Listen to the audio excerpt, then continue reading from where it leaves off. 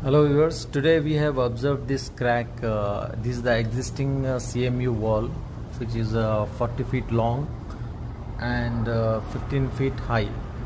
So in the this uh, cracks appeared why because uh, missing of expansion joints, no vertical expansion joints provided on the wall.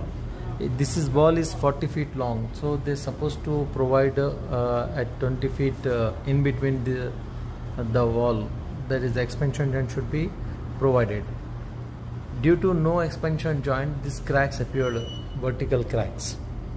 So expansion joints are necessary to accommodate thermal expansions and contractions as well as other movements in the structures. So without expansion joints your walls can develop cracks like this. To avoid these cracks please provide expansion joints